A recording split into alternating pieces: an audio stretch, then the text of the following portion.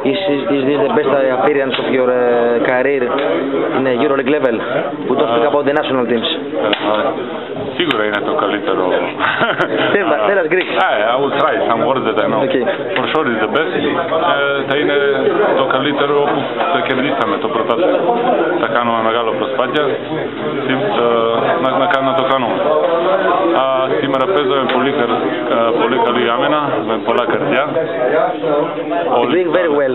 Όλοι σαν α- αδερφοί, αδερφοί, αδερφός. Αδέρφια. Αδέρφια, όλοι σαν αδέρφια και είναι πολύ εύκολο να παίζαμε αυτό μπάσκετ όπου είμαστε όλοι μαζί.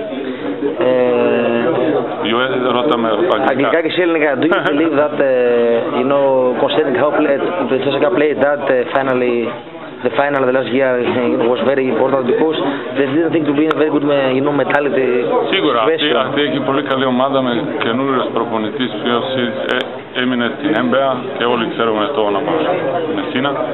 Α, έχει μεγάλο budget, budget και ήθελε να κάνει ρεβάνш στην εφημερίδες.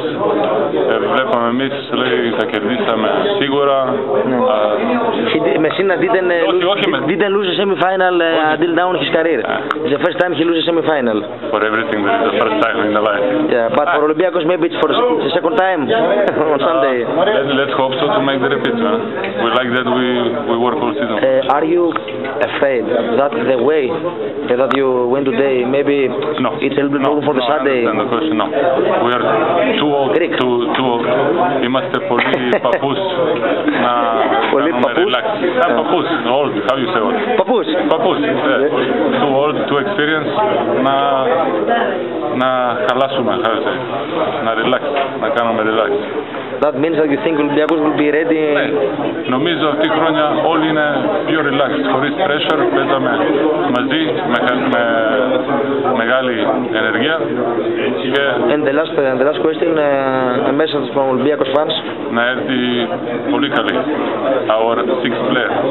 Uh, Ο έκτος παίκτης. Ναι, έκτος παίκτης και I hope θα έρθει πιο πολύ στο final. Ευχαριστώ. Παρακαλώ.